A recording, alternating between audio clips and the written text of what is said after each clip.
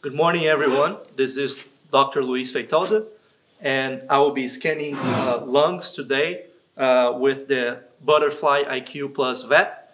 And uh, we were, we're gonna be targeting lungs today because uh, cattle have a really big problem with uh, pneumonia.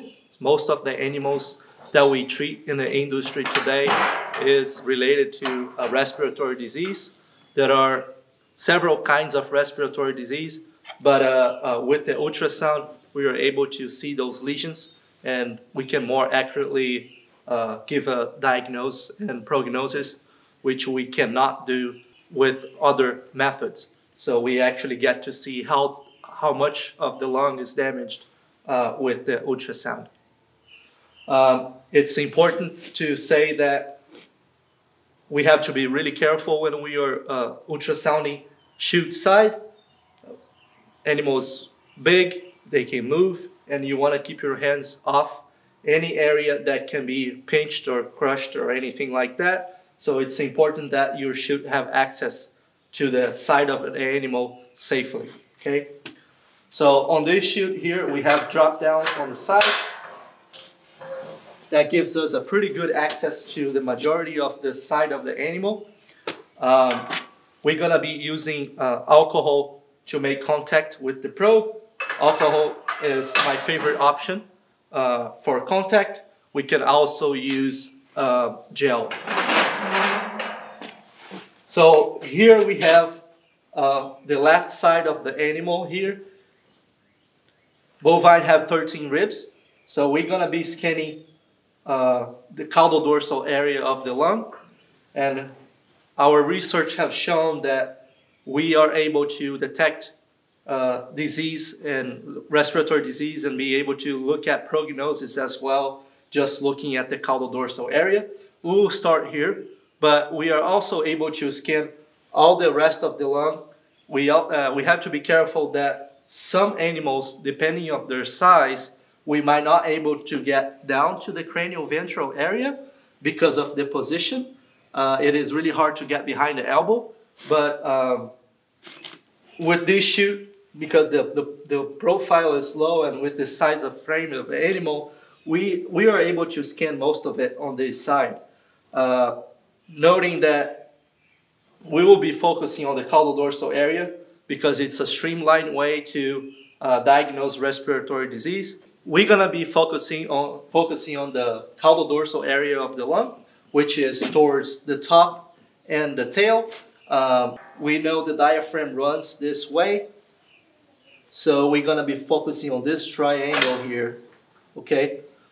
Uh, why caudal-dorsal area? We have done research with the Kansas State uh, Beef Cattle Institute, and we have shown that we are able to detect all the respiratory cases on that study that were also mortalities. Uh, we were able to detect every single animal that were deemed respiratory disease uh, at necropsy, so which is a good standard. With that, that comparing to traditional methods, which is usually takes us at least five minutes if we wanted to scan the whole lung in both sides. They're gonna take you at least five minutes. And this streamlined way gets you down to 45 to 60 seconds or lower, depending on uh, how fast you can get a good contact. And uh, also if the animal's uh, collab- being collaborative or not with you. We know that sometimes the animal gonna be jumping around and moving a lot, so you gotta have a little bit of patience to get a pretty good image for you to have a valuable information. So uh, again, I will be using alcohol. Um, we want to palpate the last rib, the 13th rib, and we're going to count uh, the ribs in, and we will go uh, all the way to the ninth uh, intercostal space. You can be very generous about the alcohol. The worst thing you can uh, have ultrasound is a bad contact. Alcohol is pretty inexpensive, so you want to have all that area soaked pretty well. When you go on your uh, Butterfly app, you want to make sure you are in the lung preset. So go on lung preset, fill out the information for that animal.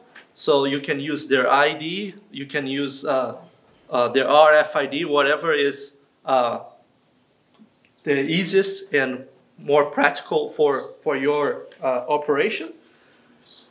The other thing is we want to make sure we have the cranial uh, indicator um, up. So we're going to be scanning parallel to the ribs. So we have the ribs here.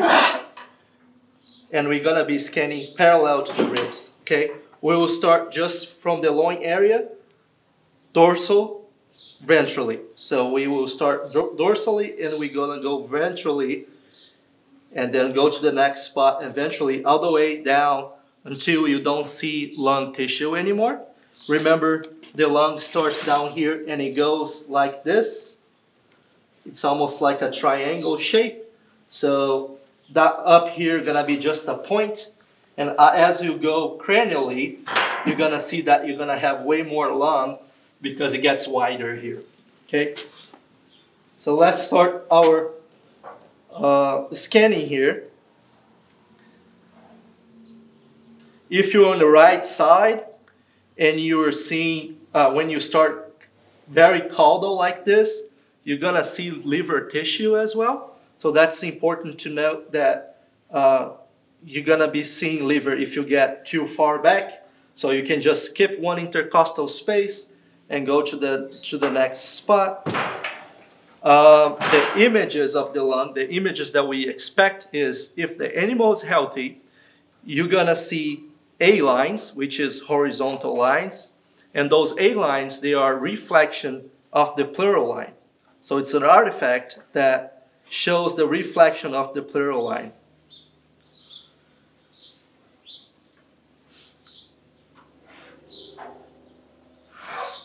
I'm getting pretty good image here.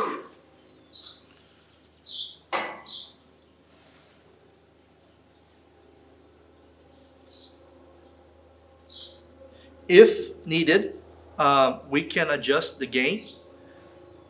So uh, on your butterfly app, when you're scanning, you can roll right or left to adjust the gain for that specific animal. Uh, it is important that you get the best image that you can get uh, for every animal. Don't be afraid to change the gain. The gain is very simple to do. Uh, you want to be able to see as much as you can to be able to correctly evaluate the animal. Uh, also, depending of the size of the animal, you might have to adjust the depth.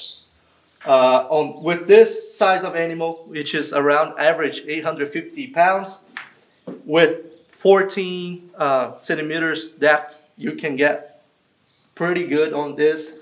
If you get an animal that is a little bit heavier than that, you might, might have to go to 18 uh, or more. I have scanned animals all the way to 14, 1500 uh, pounds. So you have to you you have to adjust the depth to be able to see as much as you can. Uh, with heavier animals, you have to go deeper because you they have more fat cover. Their body wall is a little bit thicker than uh, smaller animals like that. And the other side, if you go uh, with lighter animals, you can decrease, you can go a little bit like up to 10 or so. Um, with the butterfly, one really nice feature that this probe has is with the lung ultrasound, you can go all the way to 30 centimeters depth, which it is a pretty good uh, feature. You might not have to use it, but if, if you get to a point that you have pretty big animals or, or you having a little bit of challenge to, to see things, you have that, the, that function if you want to go that deep. Uh, with going over the healthy animals, again, we're looking at A lines, right? When we're going dorsal ventrally, we want to be able to go to see everything. And when you see something that looks like a, a high uh, beam from a car, a vertical line, like that goes from the pleural line all the way to the bottom of the image. That's called a comet tail or a B line. Those uh, ter terms can be used interchangeably. Um, that means that that area of the lung, it is uh, suffering a lesion, which shows that uh, the lung is not being aerated as well as it, we would like to be. The ultrasound waves do not go through air, so when we start seeing those uh, those B lines, that means that on that area there, the lungs are not being aerated uh, the way it should be. So we see those vertical beams go going uh, from the top of the image, from the pleural line, that very bright and, and, and hyperechoic line, all the way down. Uh, we can see, when we are evaluating the animal, we can see multiple B beelines or even merged B lines. Merged B lines means basically we can have multiple B lines on that image, but you have so many that those B lines they merge and they become a very wide one. The more B lines you see on the image, higher is the degree of lesion and injury on that lung. So that gives you an idea of uh, prognosis of how bad or how severe uh, that lung lesion is. Going a little bit further on lesion and severity, if we see the lungs um, very well in tissue-wise, that is uh, a concern. Okay, again, we should not be able to see a lot of the lung because of if the lung is working properly, we're gonna have a bunch of air in it, and ultrasound waves will not go through it. If we get to see a lot of the tissue, and that tissue looks somewhat like the liver tissue or the spleen tissue, uh, that is a sign, uh, that's a red flag because that means that lung is consolidated. When the lung is consolidated, no air can go through it. So that lung is already uh, in a very high degree of severity, and that is not going back. Once the lung is consolidated, you cannot fix that. And no, there's no medicine out there that can uh, revert that. Um, so when we are evaluating our animals, especially on production uh, operations, we have to be cognizant that when we are scanning them and we see a high degree of consolidation or uh, a bunch of B lines, that we have to be careful with them on management of uh, treatment management or treatment protocols. If it's a second pull or a third pull animal, we might like to think a little bit more if it's worth to do the treatment or not. Okay, now it's we're not talking ultrasound, we're talking about management now. Uh, when we are looking at the lungs and the lungs are severely damaged, we might like we, we might have to cool that animal from the herd instead of treating it. So we are only using uh, antimicrobials on animals that actually are recoverable instead of using it uh, on animals that might not recover the disease. Okay, so that's uh, one important thing uh, for just disease management and just medicine management. We don't want to be using it. And in the cases that we, we don't have to. With the butterfly ultrasound, it gives you the possibility of having that valuable information on how the lungs look like without using the ultrasound, the way that we diagnose respiratory disease is by looking at the animal, looking at the clinical sign. Is it coughing? Is it having nasal discharge? Uh, is the animal not eating or losing weight or anything like that? Which can be somewhat uh, very uh, unspecific for several other diseases, right? Um, we also can use the stethoscope and we can auscultate the points of the lung. But with the ultrasound, it gives you the ability to look at it. So you're actually looking at it and you have an idea of the extension of that uh, injury. Uh, we have a, a lung score that ranges 1 through 5. So 1 being a healthy animal, so you're going to be that image that we have the A lines all the way through. Uh, it's going to be quite a darker image. um, because again, the lung is aerated, so it's gonna be quite a darker image. Then we have score two. Lung score two will be uh, thin uh, B lines, so you're gonna you're gonna see B lines throughout the image, but they're gonna be not as frequent. Uh, and for lung scoring, they for us to be able to call that abnormal, they have to be three or more B lines on that same image. When we go to lung score three, then we start to see more B lines and merged B lines. So the extension of the injury is getting greater as I go up to the score. Lung score four, you have some low degree of consolidation, uh, moth sign. So moth sign is when the pleural line is like moth eaten. You, it's not a smooth line, and it's not. Uh, you're gonna have like abnormalities, artifacts that looks like it's it's been moth eaten.